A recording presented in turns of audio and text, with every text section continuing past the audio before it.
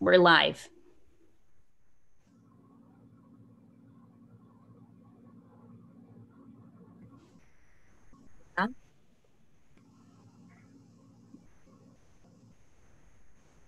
We're live. Okay, Yona, you can start.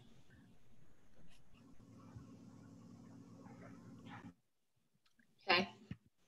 Hi, my name is Yona Groissa and I'm the student council president. Today we're going to be making challah. We all know that women make challah and not the men, but why? We find that Sarah Imeinu was famous for three things. There was always a cloud over her tent, the candles she lit stayed lit from week to week, and the dough she baked always had a special blessing and it was always fresh and abundant. The reason why these three miracles took place in Sarah's tent is because, in a certain way, she made up for Chava's mistake of eating from the tree of knowledge and giving some to her husband. One of the main punishments from the tree was that it will be very hard to make bread, and because of Sarah's righteousness, some of that harshness harshness was relaxed. Therefore, Jewish women were given the honor of following in Sarah's footsteps. Shabbat Shalom, Gmar Chatima Tova, and thank you.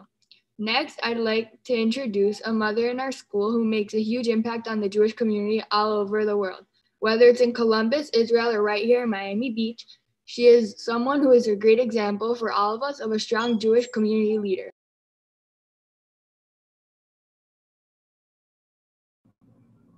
Hi, everyone. I'm Lindsay Schottenstein, and I'll be teaching you how to make challah, and we'll be doing braids and different ideas today. I wanted to start with the three mitzvahs have been granted especially to women. The laws of family purity, the mitzvah of challah, that is removing a portion of the dough, and the mitzvah of lighting Shabbat candles. Each of these mitzvahs, the Midrash tells us, were given to rectify Hava's sin when she allowed herself to be tempted by the serpent. Of the mitzvah of challah, the Midrash tells us, why was she given the mitzvah of challah? Because she corrupted her husband, Adam, who was the challah of the world, and so she was given this mitzvah. The soul of every woman contains a fragment of the neshama, the soul of Chava, the mother of all life, whose sins brought much suffering to the world. Therefore, as a Jewish woman, we have been given the ability and privilege to repair her error and rectify her sin. Many people may wonder why it's so important and fulfilling to make challah weekly. You can buy challah, it's available at many groceries and bakeries. And sure, they are delicious but I would like to explain to you why I find the mitzvah of making challah something that I choose to do because it connects me to the generations of Jewish women all the way back to the Eve in the garden. It provides for me the opportunity to give to my family, friends, and community something that I've made and is very important to me at the same time connecting to my spiritual side. My home is filled with smell of baking bread that reminds everyone that Shabbat is coming. If you walk into my home on any given Friday afternoon, you will hear the music playing and find me in the kitchen kneading the dough and dancing around. My days and weeks are always filled to the max with all of my responsibilities of my family and life. But I take the time to pause and do something that is so special and meaningful. I travel with my challah out of the freezer or make a batch wherever I am. No matter where I go or whenever I am, it transforms a place where Shabbat happens. Cooking has the expression that two people can make the same recipe and the results may be different. This can be because of the intent of the person as he or she makes the recipe. I put my heart, soul, and love into baking challah, and I'm always in the moment. When I hold the dough and make the braids, I am filled with the gratitude for all that I have and I am able to accomplish. Seeing the finished outcome and giving them out makes me feel proud to be a Jewish woman. I hope in this time that we spend together this morning, you will understand why it is so important to me. So now we're going to start the process of making challah. So everybody can, we start with, I take four packets of the Fleischmann's active dry yeast and I put it in the mixer. If you don't, you could use a Bosch mixer or a KitchenAid, or you can just mix by hand also. So I'll cut these open and put four inside. And then I'll take four cups of warm water, hot enough that it will activate the yeast, but not too hot for a baby's bath. And you can test it on the palm of your hand.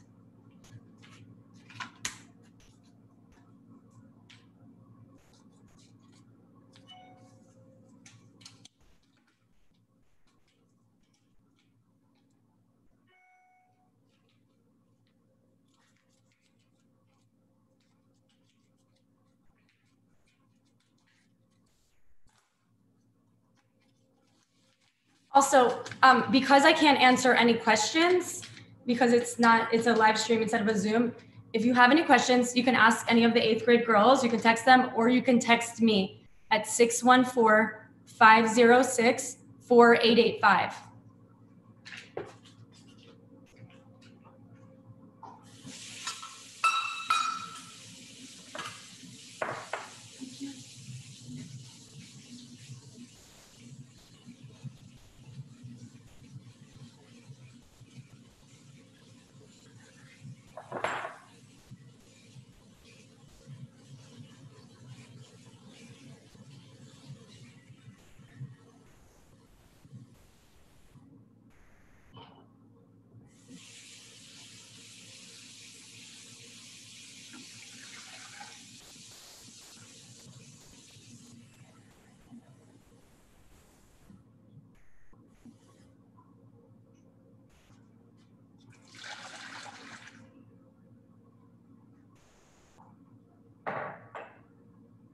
And then add a tablespoon of sugar and it will activate the yeast a little faster and just make it a little sweeter.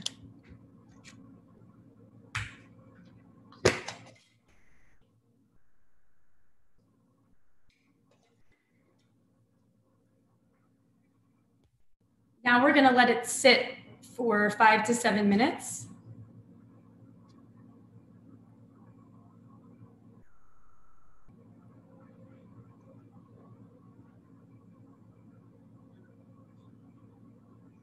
Do any of the girls have any questions so far?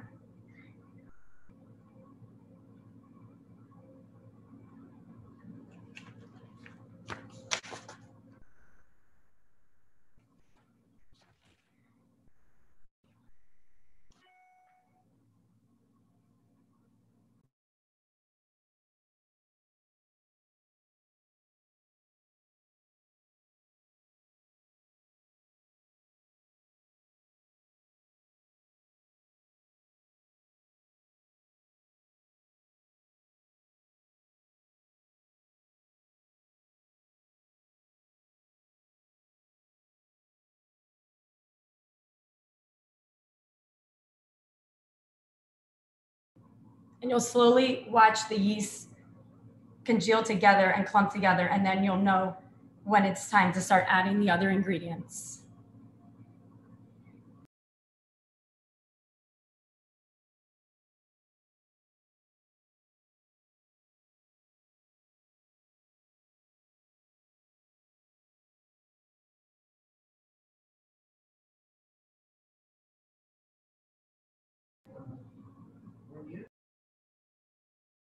Upgrade what we have so we don't have to purchase brand new one?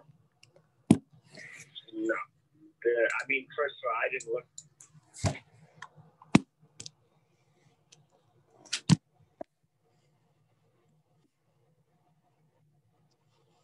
Are you waiting for me? Hi, everyone. It's so nice to see you guys. Uh, I want to give a special thank you to Lindsay for baking challah. Um, I understand you're not local, so I, I am going to forgive you for not dropping off um, some challah before before before Shabbat. Um, it's really really nice to see so many of our students uh, working and baking challah. Very very special. Um, and thank you um, to uh, Mrs. Werdiker and Mrs. Lucero for helping out. Um, yeah, I would say challah is, is such a it's such an integral part of the Jewish people, and the fact that you get that you have opportunity to make something so holy and so um, so beautiful every single Shabbat to bring to your family is really just um, fascinating. Um, and I, w- I was thinking about it as we're entering into Yom Kippur with Shabbat Shuva, um, which is this is the Shabbat which is dedicated of of Teshuvah of of returning back to everyone. I think you know taking time to return back to um, to baking challah, which just goes back all the way to to Sarah Imenu, is such a great way to enter into the day um, and enter into to Shabbat, enter into Yom Kippur.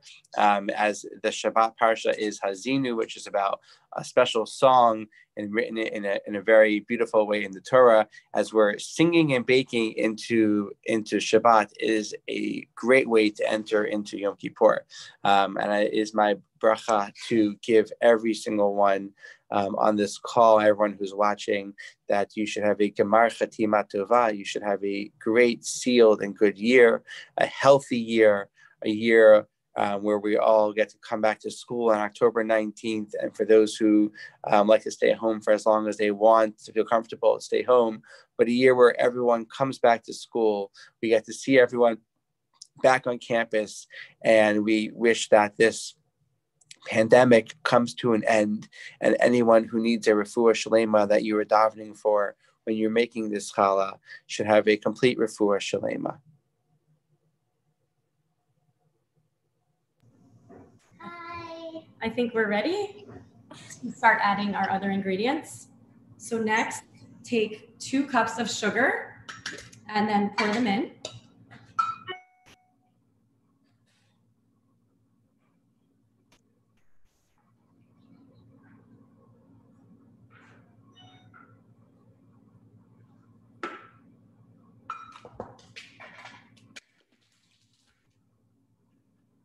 and then one and a half cups of vegetable oil. The vegetable oil just makes it a little sweeter. But if you don't have vegetable, you can use canola. You can use other kinds of oil too. It's okay.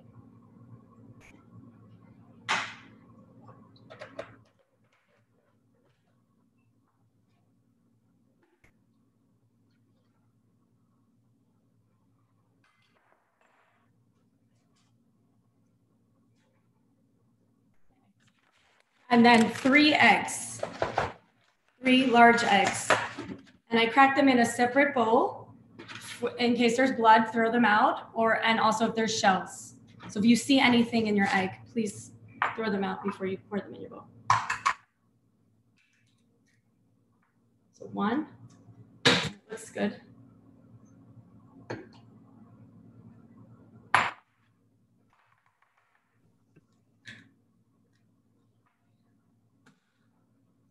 Two.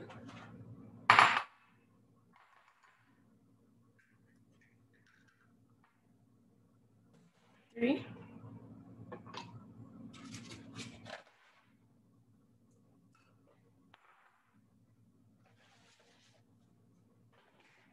And then I'm going to use the King Arthur bread flour and I like to sift it. And so I start sifting it in the machine for a little bit and then I turn it on. So I'll use most of the five pound bag. I'll leave a little bit, one to two cups, the end, but you have in mind you're using the five pound bag um, just to braid it if it's sticky. And then in the middle, I'll stop for one second and I'll take one tablespoon of salt and pour it in. Now I'm gonna turn it on. Um, how much oil do I add? One and a half cups.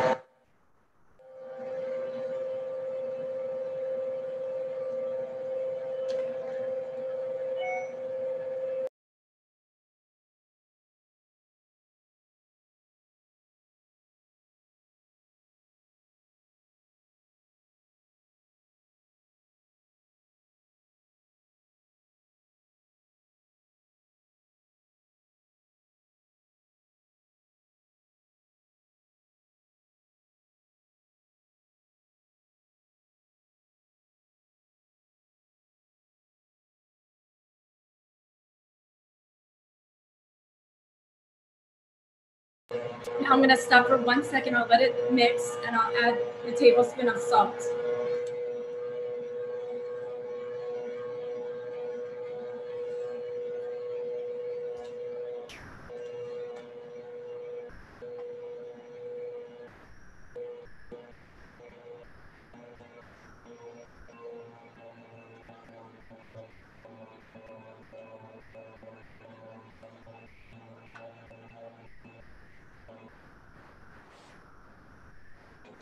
How much flour?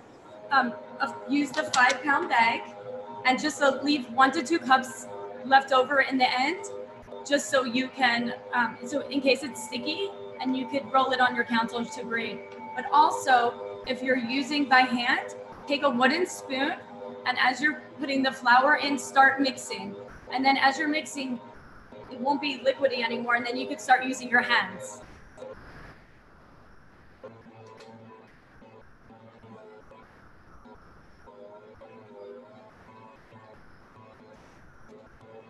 Gonna leave, there's a, you can see a little bit left in the bag.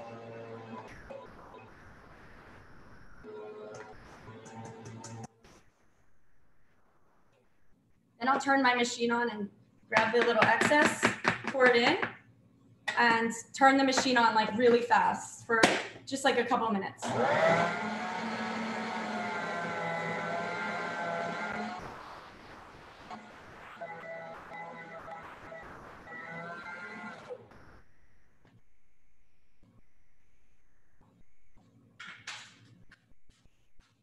And then I'm gonna set this aside. I'll cover it with a towel and I will place it for an hour and a half to two hours, usually by the stove if you're cooking and the heat will make it rise faster. Or if you're somewhere where it's like a little colder, you can put it in the sun in the window, it'll rise faster. Or also temperature wise, you can put it in the oven with the oven off and just put some warm water, water underneath and then it will rise in a pan and it'll rise faster too. But if you have the time and everything weather wise and your kitchen is um, a good temperature, you could just set it aside for now. Um, I did make challah last night so I could teach um, some of the braids. And I have um, different topping recipes as well. So girls, when you have when you're finished, let me know because then we'll talk about why we're gonna separate the challah and put the dough away, a piece of dough away, and we'll do some prayers um, for Shalima for whoever needs it. But everybody, if you have a list, you could say it to yourself when we're gonna say it, and we'll say the prayers. Also, I refer to the Mitzvah of Challah book. I love this book, and it really tells you why you're um, making the challah, why you're doing this, and it gives you some recipes in the end. But it's really not a recipe book. book. But there are great um, ways to braid, and it has the prayer in the front, so everybody knows.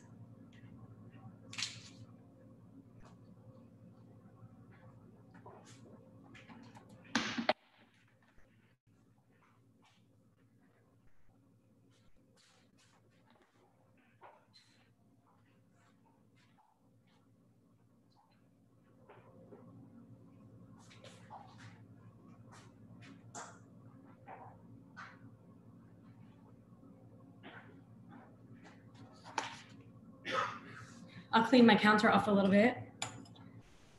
So I have this space.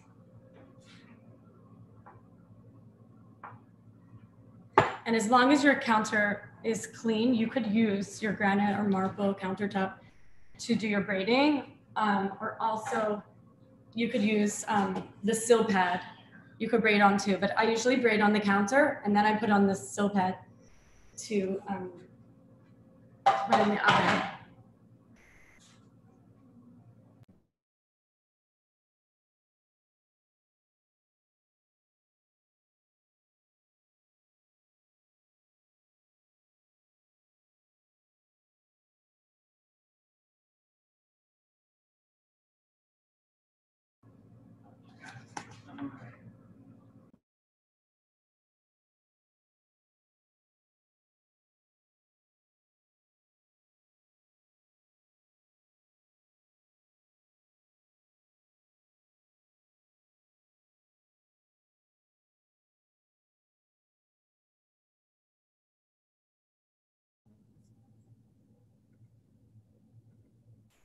Let me know if and when you're ready, and we'll start the next part.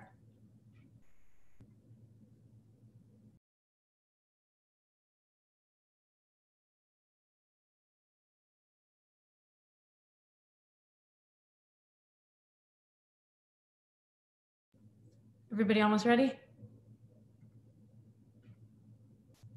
Okay.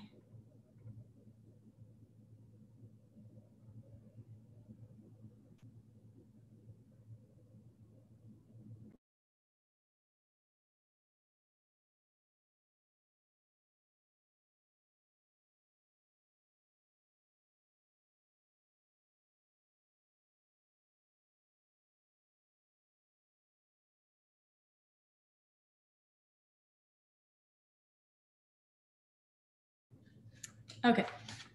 The mitzvah of challah is mentioned in Bamidbar. The mitzvah is the teeth of a portion of the dough that you need and give it to the Kohen. The Kohen would eat the challah when he is free from any spiritual impurity, such as one who came in contact with a deceased person. Today, since the Kohanim are not clean from such a spiritual impurity, the challah is not given to the Kohen. The dough, however, is forbidden to be eaten until the challah is separated. Therefore, challah is separated a little piece taken out to assure it's separated and burned to assure that it will not be eaten. The Sefer HaChanoch writes, it's in Mitzvah 385, man's life depends on his nourishment, and most of the world lives primarily through eating bread. So Hashem wanted to give us a constant mitzvah regarding bread. Bread, as we know, has a special role in providing us with nourishment. No wonder Hashem gave us a mitzvah relating to it. The Sefer HaChanoch explains further that at the same time the bread is sustaining our bodies, the sanctity it carries after having been used for a mitzvah will nourish our souls. In his abundant goodness, Hashem wanted to give an opportunity to benefit from his blessing on a daily basis.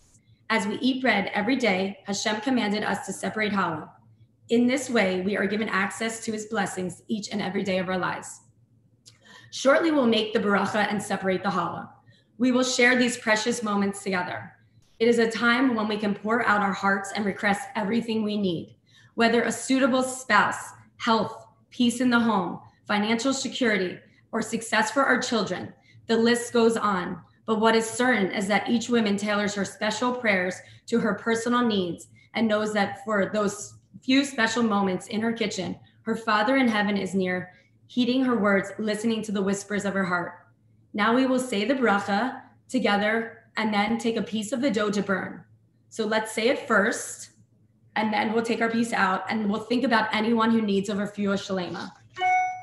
So girls, can everybody unmute themselves?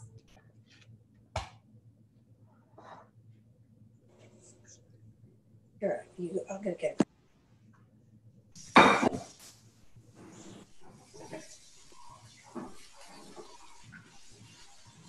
You throw it on there.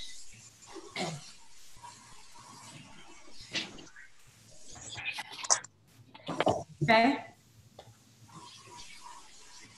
One, two, three. Baruch atah Adonai Eloheinu Let me, hold on one second. Cover. Yeah, a little covering. Hold on. I got a dish towel. I have my headband.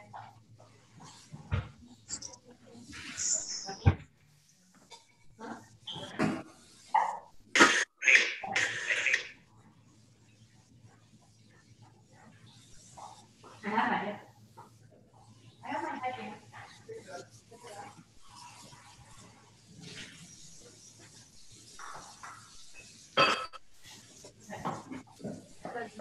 Okay, start over. Baruch atah Adonai Eloheinu melech haolam asher kiddushanu b'mitzvotav v'tzivanu l'hafrish challah. And Take your piece and say harei zu challah. And let's keep in mind everybody who needs a healing.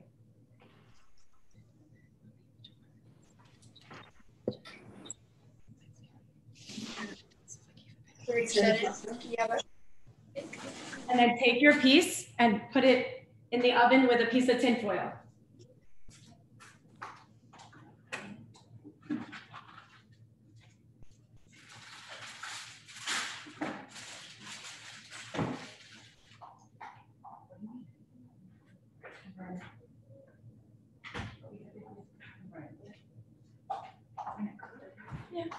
350. Okay, now we're gonna get to the part of braiding. So everybody, so first we could start with the sixth braid. I'll show you different braids and then I'll show you how to make different toppings.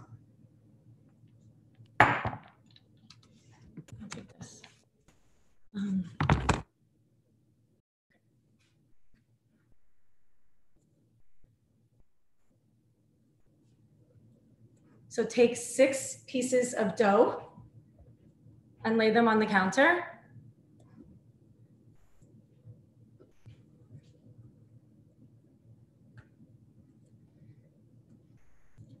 Size that's around this size.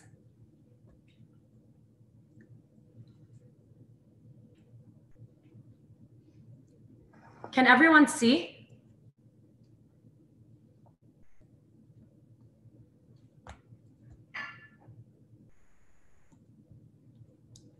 And sprinkle some of your leftover flour.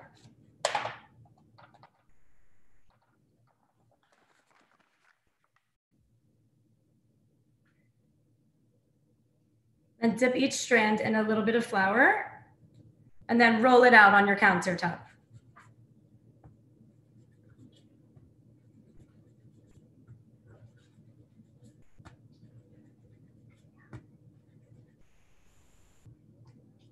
They each should be around the same size. It doesn't matter which size, thin or thick, you could do whatever you want. I keep them on a little bit on the thinner side.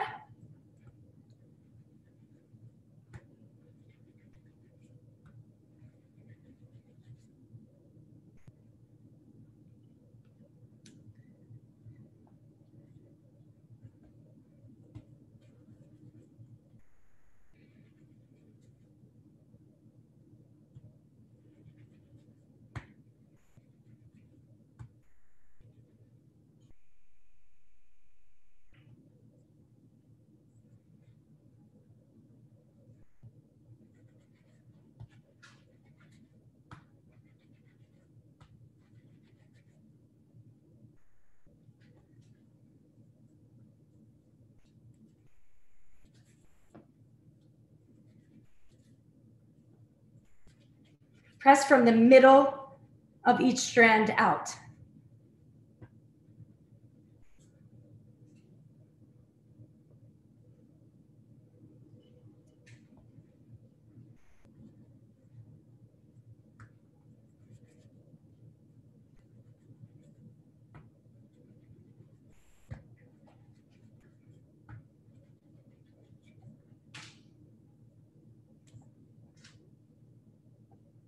So then you have six strands. You start with your, put three on each side and leave a middle. Start with your outer right-hand strand and cross it over to the left. You're always crossing over. Take the left-hand strand and cross it over to the right. And then take your middle, the piece on the left, and it goes straight down the middle. So each strand is always coming out from the outside, crossing it over, and bringing the other one down the middle. Take your piece from the left-hand side, cross it over, and bring it down the middle. I know it's hard if it's your first time, but you can call me and I can show you, and eventually we can be in person one day, but also you can look on YouTube or in a challah book and I'll explain how to make it. So take your left-hand piece, cross it over, and put it down the middle. Take your right-hand side, cross it over, take the right piece and put it in the middle. Take the left, cross it over, put your other piece in the middle, and keep going until you're at the end. And then push the two sides under, and you have a six braid.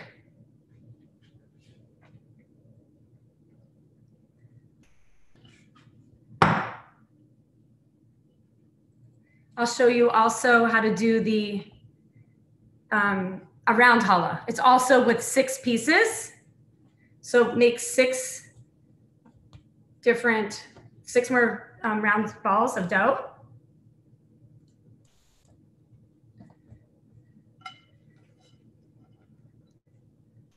I'll also show you a three braid um, that I learned a trick that if you start the braiding in the middle, it'll come out a little better looking.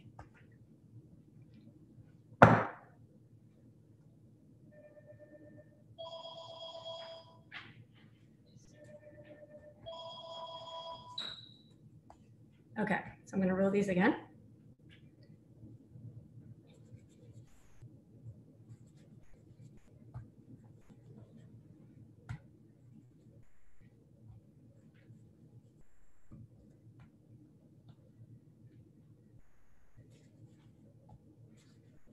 And this sixth braid for the for the round, it's like a tic-tac-toe board.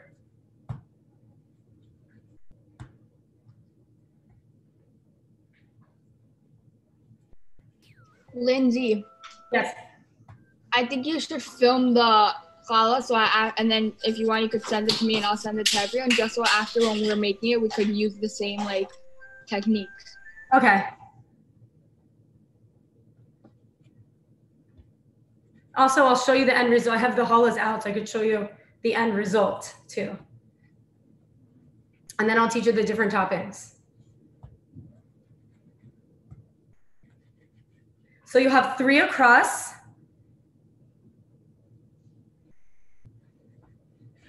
And three the other direction also.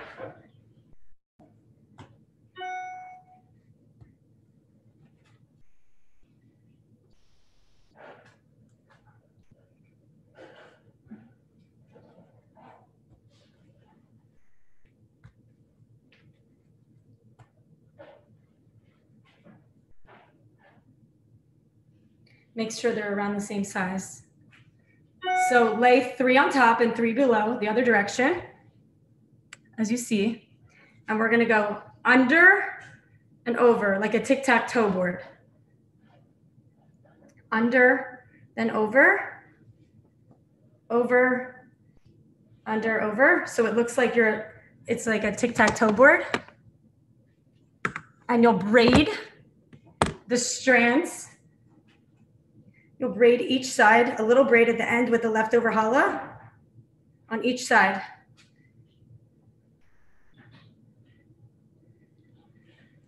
So you'll end up with four braids on each, uh, one on each side.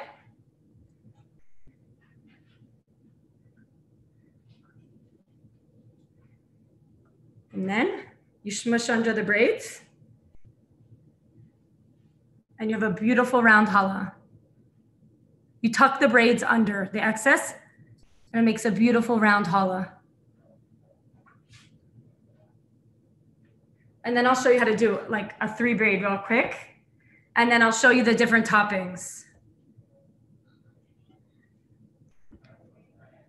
So after, we'll let this rise. You'll cover it with a dish towel.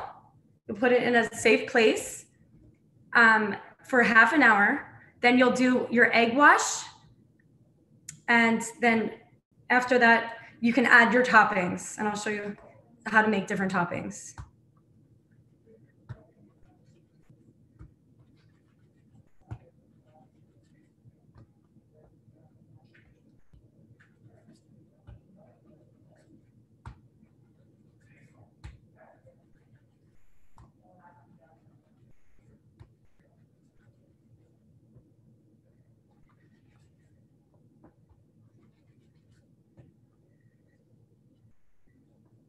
This is the dough I made yesterday and I put it in the fridge. I let it rise. I put it in the fridge and let it rise um, another hour before I took it out. But if you could make the dough the same day, it's warm and it's ready and it's like really soft. So it's a little easier. But if not, you could do that the fridge. So take the three strands and start in the middle for the braid. Start braiding down to the bottom one over the other, and then braid the other direction up. And then you have a beautiful same size challah on both ends. So now I'm just gonna set this aside, my tray, and cover it with a dish towel.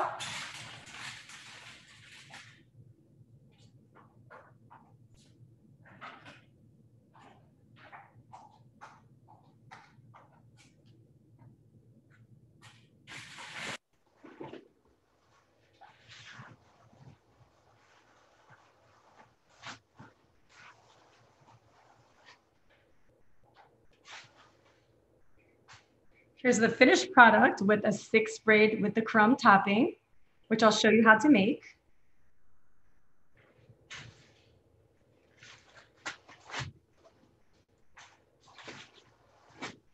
Here's the round challah with the everything topping, which the rounds get very big in the oven.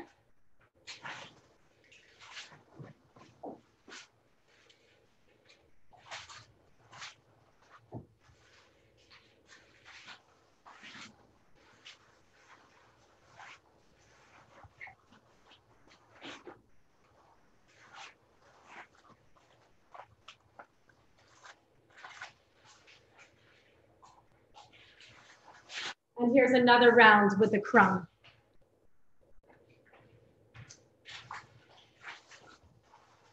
So let's together, I'll give you the recipe for the crumb topping. And I also like to, um, if you're making, I also like to make a cinnamon sugar. So for the cinnamon sugar, it's gonna be a little different. Um, you have to, before you're braiding, you take each piece and I'll show you how, how to um, egg wash that and make this cinnamon sugar. You have to you have to dip it in because it won't stick in the end. So you you can make either a round or you can make a regular braid and then tuck it under at the end. So let's do that first. So take crack an egg so you have the egg wash.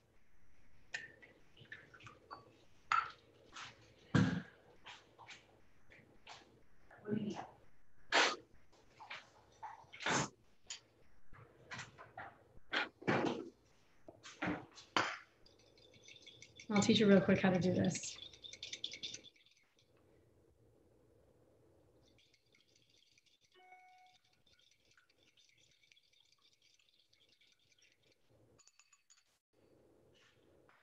You still should have more dough left over. So let's just do a three braid and we'll make it really big.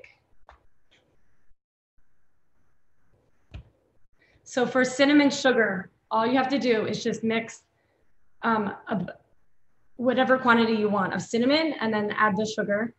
And you could smell it before it even goes onto your challah. So the easiest way to do this is to make your three strands.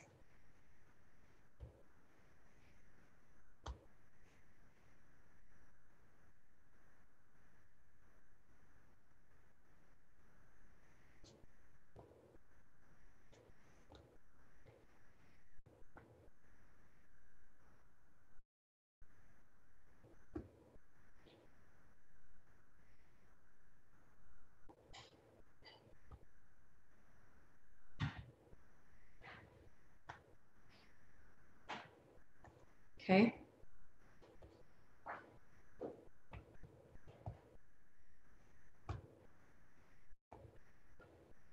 Take um, your tool to egg what your egg wash. Your, and then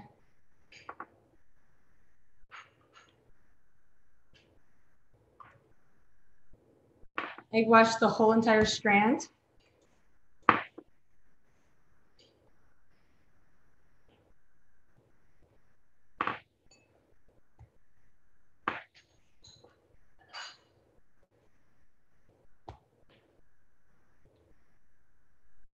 And then you dip it in your cinnamon sugar. And I like to keep it in a Pyrex so it's self-contained, it doesn't get messy on the counter.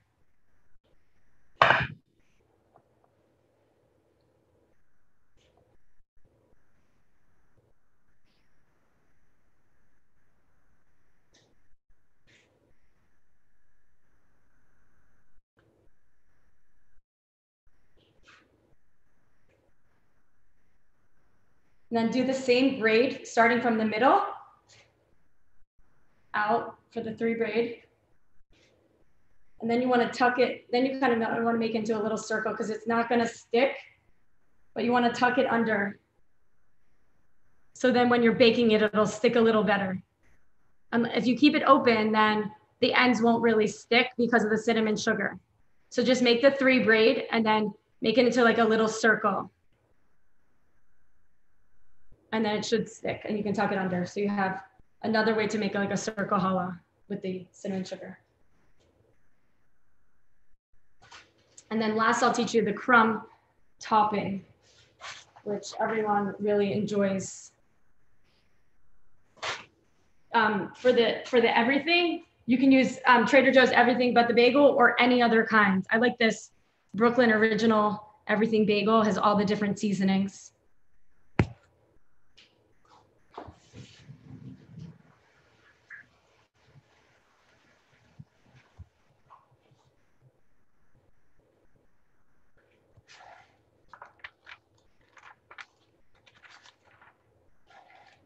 So for the sweet crumb, have another Pyrex bowl.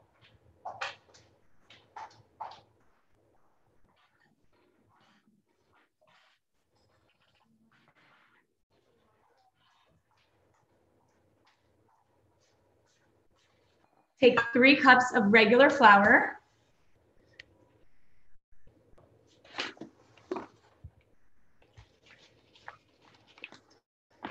And you can use the king or any, any type of regular flour.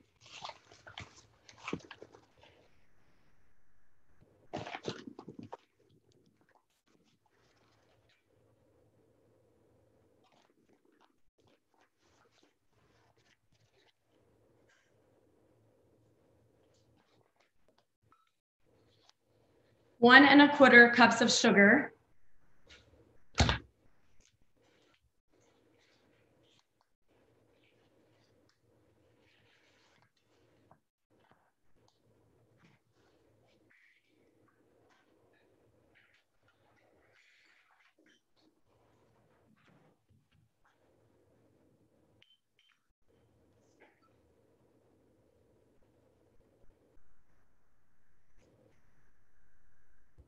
Three fourths cups of oil.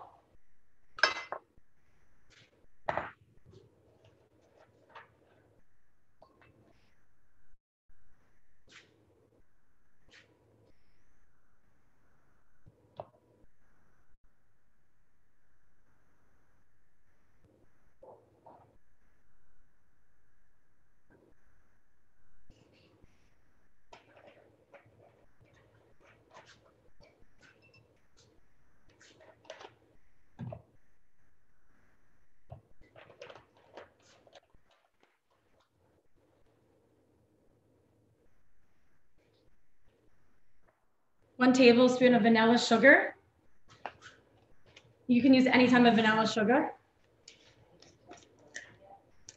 Mm, No.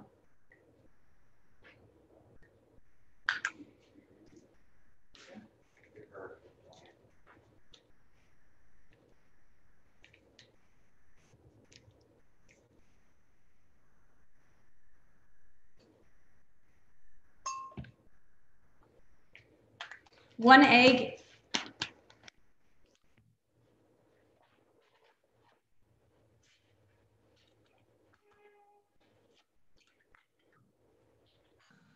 Egg. And one teaspoon of baking powder.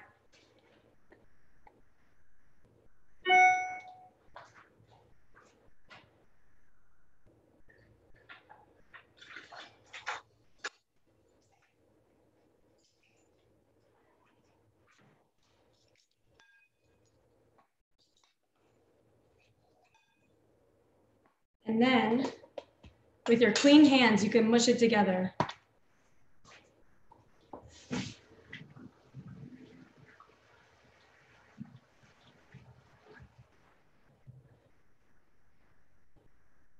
If you feel like it's a little dry, you can add, you can see what else you need to add. But because of the baking powder, it'll make it crumble.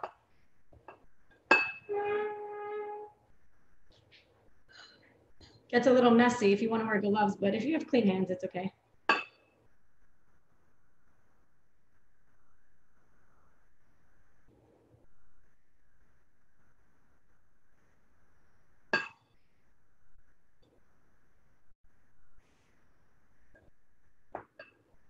And add a little bit more oil.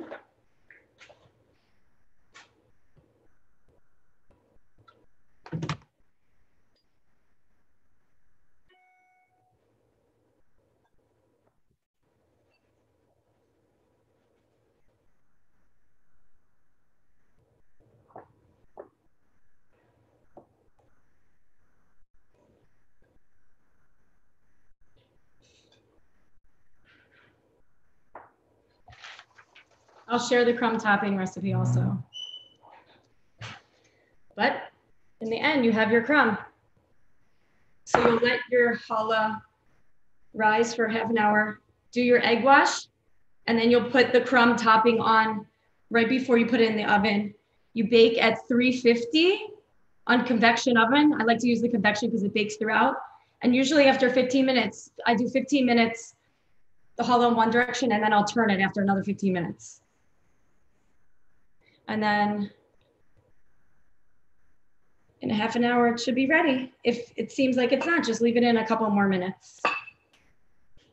And then you have your crumb topping. Does anyone have any other questions? I know we took a long time, but this was one of my first not in-person challah bakes, and I hope next time we will all be together in one room at the Hebrew Academy. Thank you. I mean, thank you so much, Lindsay. Uh, thank you everyone who for, who participated. It was um, it was really nice watching everyone. And if you want to bring some over to the school, I'm a little bit hungry, so any any challah would be appreciated. Um, this is all part of um, our campaign to lead like a warrior, to give like a warrior. I've never said this line before, but today we were raising dough for challah, and we're also raising dough money for the school, uh, which all goes back um, into our program that we've um, invested in through the safety and the technology and the enhanced scholarship. So if you have the opportunity to, um, to contribute to our Lead Like a Warrior, Give Like a Warrior program, it will be very much appreciated. So thank you so much again, Lechem from Lindsay, Lechem Love from Lindsay. Um, thank you everyone who participated and I hope uh, to see everyone soon. Shabbat Shalom. Shabbat Shalom, everyone. Hag Sameach. Thank you. Bye.